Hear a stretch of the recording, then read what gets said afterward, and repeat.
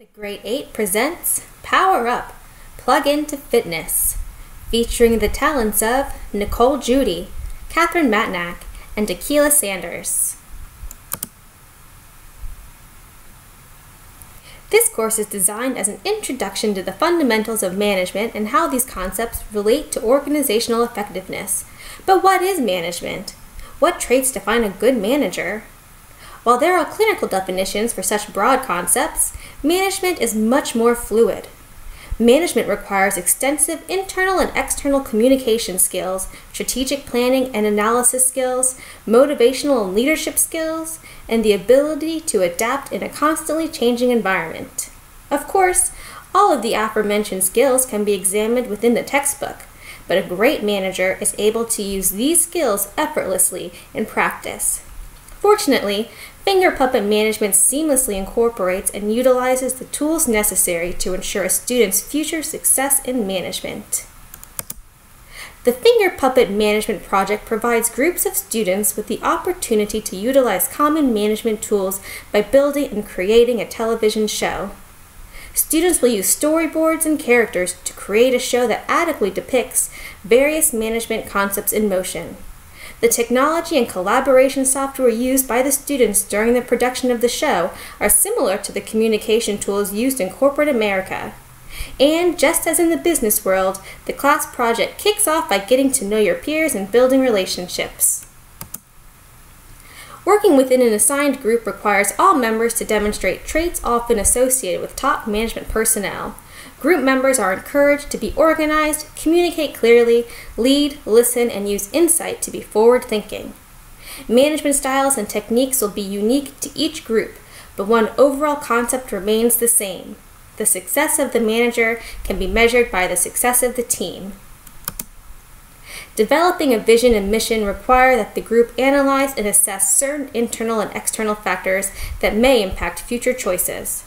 The group will utilize the strategic management process by establishing objectives, formulating a strategy, and then implementing this strategy. Issues are identified, alternatives are proposed and evaluated, choices are made, and then the chosen alternative is implemented. The success of this show can be wholly attributed to its creators, Nicole Judy, Catherine Matnack, and Tequila Sanders. Known as the Great Eight, this trio shares the group goal of creating a project that exceeds expectations based on mutual respect, cooperation, and attention to directions and deadlines. The Great Eight owes its success to the advanced planning and task allocation that occurs at the beginning and end of each week. Each team member possesses a unique combination of skills and talents that can be optimized to best fit the upcoming project. Continuous communication and collaboration ensure the timely completion of all assignments and provide a quality work product that exceeds expectations. Welcome to Power Up Gym. Power Up Gym is a family owned fitness facility located in Tampa, Florida.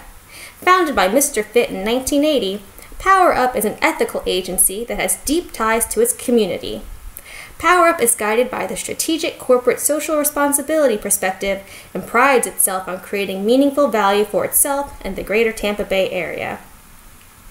PowerUp understands that its clients are diverse and has adopted a global mindset. The awareness of the cultural differences of its clients and staff has helped PowerUp stay ahead of its competition. However, there are changes underway at the gym. Mr. Fit is ready to retire and pass down his legacy to his son Rex. In addition to this major management transition, there are other important management decisions to incorporate. The push for cutting edge programs and enhanced technology has the gym staff scrambling to plan and implement its new strategic vision. Are you a male or female between 18 and 80? Have you ever had held a job, gone to college, or worked out in a gym? Then this show is for you. Hailed by critics as the breakout management comedy of the season, Power Up will become your new obsession. So set aside a weekend, grab a snack, and come and get plugged in. Now, let's meet the cast. Mr. Fit, the founder and CEO of PowerUp, has reached the point in his career where he would like to consider retirement and hand his legacy down to his son Rex. He is the type of person who learns by doing and hopes to teach his son in the same manner. He can often be found waltzing in and out of the gym on the way to the golf course. His one liners usually include a surprise strategic management decision and cause chaos in his wake. Mr. Fitt's humanistic approach to management is what has made Power Up a success. Rex Fitt is Mr. Fitt's only son. Rex is highly educated, highly degreed, and is well read on the topic of best management practices. However, his experience is theoretical only. He is a methodical planner and often tries to apply textbook solutions to real world situations. Ultimately, Rex's goal is to impress his father and show that he is worthy to take on the responsibility of running the gym. Rex will need to overcome his tendency to overplan and learn quickly how to think on his feet. Marianne is the receptionist at the gym. She just graduated from college with the ambition to one day own and operate her own gym. She possesses both Mr. Fitt's sense of social responsibility and social intelligence, as well as Rex's book smarts and appreciation for strategic management and planning. Marianne is a born leader with a clear and appealing vision. However, these very same qualities may prove dangerous should Marianne take her vision to the competition. BJ is Jim's long-time personal trainer on staff. He has been working as an employee of Power for 15 years. BJ is a stubborn employee and resistant to change. Management will need to provide him with encouraging plan analysis in order for him to be on board with shifts in the gym's mission and values. Abby is the gym's yoga and Pilates instructor. She is an independent contractor who enjoys a certain amount of autonomy and doesn't want to be bothered by change. She pays rent to the facility in exchange for studio space in which to host her classes.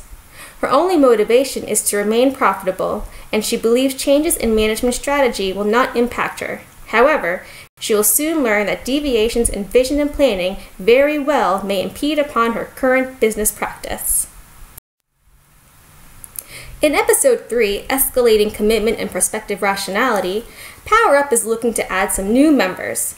Rex does some thinking and remembers that some of their competitors introduced a new program the previous year, which turned out to be very lucrative. By using prospective rationality, Rex perceives the future outcome to be profitable and decides to bring this program to Power Up. However, the new classes aren't filling up like Rex thought they would. Nonetheless, since he has put so much time, effort, and money into this project, he doesn't want to just abandon it and so he decides to continue advertising the new program. Here, Rex is demonstrating escalating commitment. He intentionally continues to follow a course of action, even as evidence suggests his original decision is a mistake. In order to overcome these issues and make Power Up a success, Rex needs to ignore his past investment, as these are sunk costs. It would also be wise for him to meet with his team and discuss the gym's options and expectations although here he should be careful to avoid groupthink. Different perspectives are always ideal when solving management problems.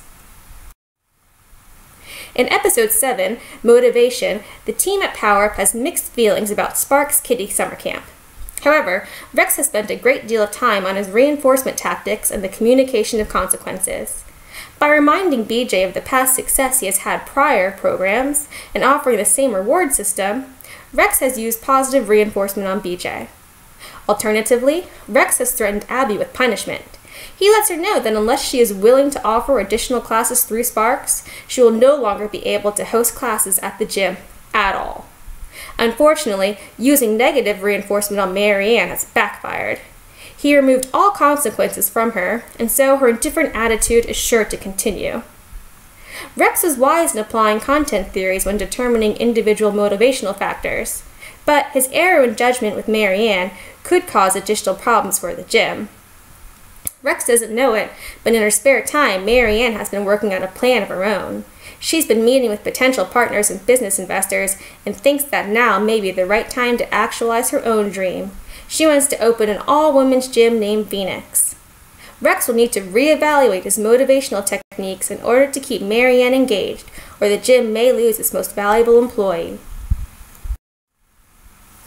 For a team to be considered successful, it needs to provide valuable output greater than that which would be put forth by individual effort. The group must also maintain and culture cooperation among its members. Finally, the group members must feel satisfied as individuals and feel as if they have increased personal knowledge. Using these determinants as a guide, the Great Eight was a fantastic success.